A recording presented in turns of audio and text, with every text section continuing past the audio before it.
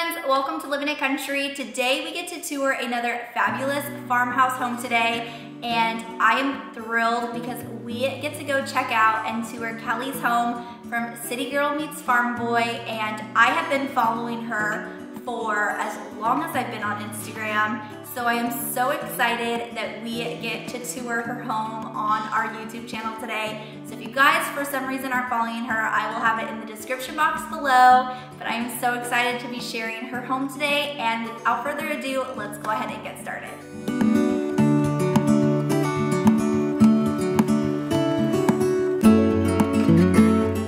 Hey everyone, this is Kelly from City Girl Meets Farm Boy and I'm so excited to be on Holly's channel today at Living it Country.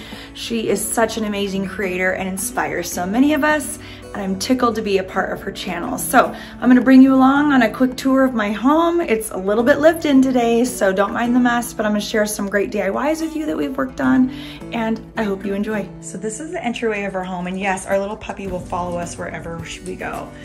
Um, it's a smaller entryway and so we tried to think of ways to bring up some light. I have a sign that I'm changing out and I haven't found the right one that I love, so hence the bare spot. But this is a space that we added some white shiplap to kind of open up the space and then added a big square mirror, which we love because it kind of just makes it a little bit bigger. We also added some of these um, country doors because this is my husband's office, and it was completely open. And so we installed the doors to kind of close that off so that he could have some privacy. And right off the entryway of our home is this bathroom. It's kind of our teenager's bathroom and we added a faux frame around the mirror. We added also peel and stick shiplap wallpaper, which we super love. And then we installed a coat hook and added some signs. So this is a great little space for her. And then right next door is this crazy pantry. Now, this is kind of the dump room where we, um, it's crazy, like anything that comes in on my packages, so don't mind this. This is called reality in life. Does anyone else have like a dump room? That's what this is. But we feed a lot of kiddos and we only have a closet in the kitchen for me. So I built this shelving out of two by fours. It was really, really inexpensive to create. And then we stack it with all of our lunch items and our snack items. And so when kids come over to visit or my kids come home for lunch, they know exactly where to go. And it's turned into a great pantry slash dump room. So this home is a spec home by a local builder and so we've tried to do some upgrades throughout the space to kind of give it its own character. It's a little tricky because this wall over here is like a 22 foot triangle wall that's been hard to maneuver. So what we did is there was carpet everywhere and last year we tore out all the carpet and added some laminate wood flooring, which we love. This is called Nutmeg from Select Surfaces.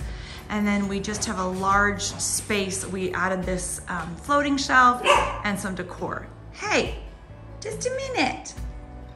Then we put up this shiplap and installed some wood valances. And then this fireplace is just the white basic fireplace that was builder grade when we moved in. And so I built this topper that actually sits right on top and then is screwed into some braces. So I can take it right off and the fireplace has never been affected.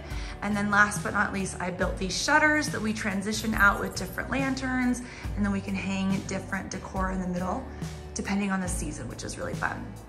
It transitions right over into our dining room.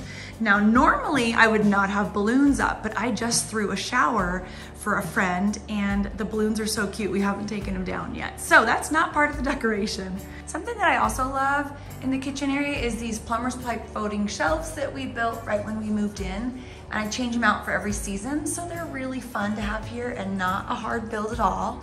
The kitchen is white. When we moved in, I wasn't sure if white was um, what I could do with white and I've left all my stuff out, right? We have our drinks and our cups and that's just kind of how we roll.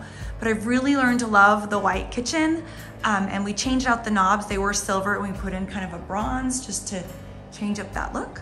And then last but not least on this island, we wrapped it in peel and stick wood planks to kind of make it pop, which really was a fun, um, you know, attribute. Finally, we painted the pantry door this really fun, it's called Soapstone from Fusion Mineral Paint. And it once again just adds a little bit more character to this kitchen space. So this is our main living area. So this home does not have a large entryway or mudroom space, and so we kind of made this hallway into a makeshift mudroom. So we have a little bench here, we added a board and batten wall for some accent character, and then over here, I love these Weaber lumber. They are um, just real wood planks that are already stained. And so we made this section just a little bit more rustic. And then we added two coat hooks that you can see that when our kids come in, they can put up their coats, they throw their rock climbing stuff, and it just gives us a little bit more storage space. This is the other guest bathroom, and the unique thing that we did is a lot of times you want a accent wall, but in a bathroom, you're a little bit worried about warping. So we did not add a real wood accent wall. We actually added a laminate wood accent wall. And this has been on here for about four years and has held up really, really well. And it was super inexpensive because it was 79 cents a square foot. So definitely consider a laminate accent wall if you're looking for something in the bathroom. Okay, I'm not even cleaning the bathroom for you because this is called reality. Um, and this cute note, my daughter wrote this for us months ago. I can't clean it off, it just stays. Okay, this is the Fiona. This is the Fiona wall blush wallpaper that I used in the space and I love it. Um, then this is a towel rack that I built myself. It was super, super easy. These are from um, a tip from Casey. My homegirl Casey from Great Birch Designs taught me this.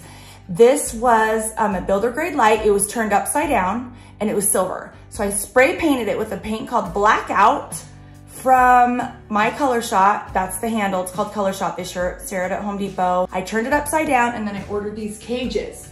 And I think I got like four for 20 something bucks on Amazon and you just screw them in and it totally makes it a new light. Anyway, that's kind of our little bathroom and some of the updates. If you have any questions, let me know. This is the workout room that we outfitted last year. And this used to be a little boys room. That's why we have this random setup right here. There used to be a slide and this is like a playroom. We built those barn doors, but we've left it just for if we ever choose to use it again. But now it's our workout room and this is a really inexpensive modern board and batten wall that cost under 50 bucks. And so if anyone wants to do that, I super encourage you. It's just one by threes and 45 degree cuts and then you paint it. It's a great, great um, accent wall. So this is our workout room. So now this is our basement area that was lived in last night with teenagers, so it's a little messy. But this is our um, pool table that we had put in, and this is hiding under here. It actually goes over here sometimes, but it's hiding. But this is an accent wall I added with my neighbors were getting rid of wood flooring. So I actually repurposed it and built this wall. So it's kind of like an accent of where um, the pool table things would go. And then we built these wood valances. And then this is the space down here where kids hang out. It's pretty casual. We also added this peel and stick wood wall, which I really love. And this is one of my favorite parts of the house. It's all four of our kids and the days they were, or the times they were born. And it's called the best of times wall. So I grabbed a clock from Ross because they're inexpensive and I stopped them of the times each of them were born, which was, I love remembering that. And then we just have a large entertainment center with all of the scrapbooks so the kids can look at their lives and kind of um, veg down here. We don't have a TV upstairs in our living space, so this is where the TV is down in our home. And then we also did these barn doors to kind of accent the wall that you just saw. Um, I used the peel and stick wood and did a herringbone pattern and kind of, because I wanted these to be barn doors, but of course there wasn't space to do the rolling. So we just accented the wall and then I added some fun handles. This is also a really fun and expensive way to decorate a large wall. So I actually found both of these pieces at a thrift store, but you could do anything you want of some kind of sign, kind of sign, and then a clock, just kind of representing the time of your life. And then I uploaded tons of photos that I loved of my kids that were 8 by 10s. You can get them done at Costco, ArtsCow, really inexpensive. And then I bought on sale the canvases from Michaels. You can get like a 10 pack with the coupon for like $10. They basically turn out to be a dollar a piece. I Mod Podge the, the base of the canvas, stuck the picture on, let it dry, and then Mod Podge the top of it. And I did it like in a, um, a brushstroke pattern, so it looks a little bit, it's hard to tell and you can't see in the light, but do you see that? It's kind of like in a, a painting type of pattern, and then just hung them on the wall. So my kids love to come down here and look at all these images of their, of themselves. And so that's kind of a really inexpensive way to highlight a huge wall space of family photos is to use Mod Podge and canvas boards. So that's kind of a space we really love. As I wrap up this home tour, something else I wanted to show you that's been our latest project that we have absolutely loved is building this deck. So my husband kind of figured out all of the layout, then my kids did the deck build with us. We bought a hot tub and then we got this great patio furniture that we have loved. And our doggie, as you can see, she loves to just venture out here because it's a warm sunny day here in Utah and it's been cold for so many months. And so having this back patio space has been such a lovely addition for our family. And it's really the highlight of our home right now. Something else that we did back here and the wind has kind of blown some things around is we built a small little space. It's like a cooking area back here. And we added a pizza oven, which is also a really big highlight. And this year we're actually gonna be building it out even bigger and adding some new patio furniture. And we strung some lights. We get to stare up at the mountains. And then we have all of our gardens boxes that we built that grow in the back. And so this is kind of another space that we absolutely love. Thank you for joining me on this home tour. And if you're ever in Utah, come visit. It's a beautiful place to be.